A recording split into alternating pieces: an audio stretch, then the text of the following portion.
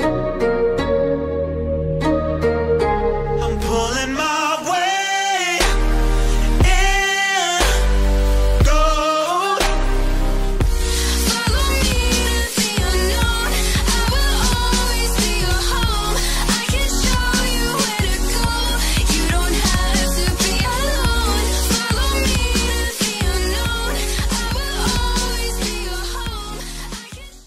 Surprise! I bet you didn't think you'd get another video from me so soon, but here I am.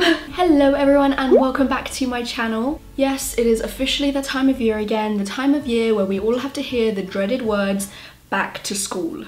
But if you think about it, it's not really that bad because you get to see all of your friends again and you are another year away from graduating. Yay! So in today's video, I decided to do a really quick and simple makeup look that I personally feel is perfect for the back to school season because it's just so natural looking and it's just so quick and easy to do in the morning when you've dragged yourself out of bed and you're just kind of half asleep doing your makeup. You, you know what I mean. This video is actually a collaboration with my friend Julie and I will link her channel and her video down below and you should really go check that out because she's awesome. Okay, so I hope you guys enjoy this video and let's get into it. She's a broken Miss America. Never learned how to love cause the answers are stuck behind closed doors. The first thing I'm doing is taking my Kat Von D Lock-It Tattoo Concealer and I'm just dotting that around my blemishes. I personally never really wore foundation to school, I just preferred how much quicker it was to use a little concealer wherever I needed it.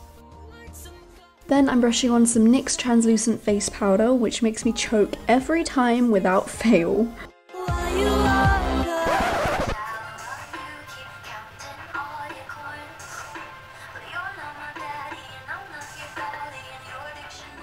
Moving on to my eyes, I'm going to be using the Urban Decay Naked Basics palette because it's still one of my favourite everyday palettes.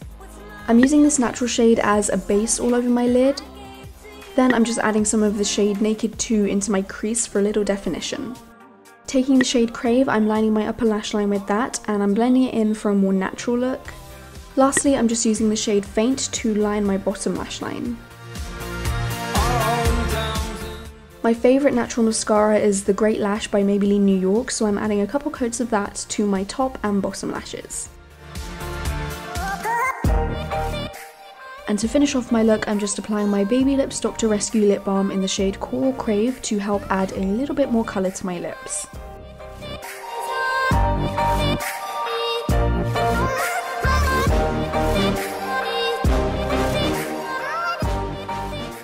Thank you guys so much for watching this video. I hope you enjoyed it. If you did, don't forget to give it a big thumbs up. Also, don't forget to subscribe if you haven't already, and I'll see you guys next time. Bye!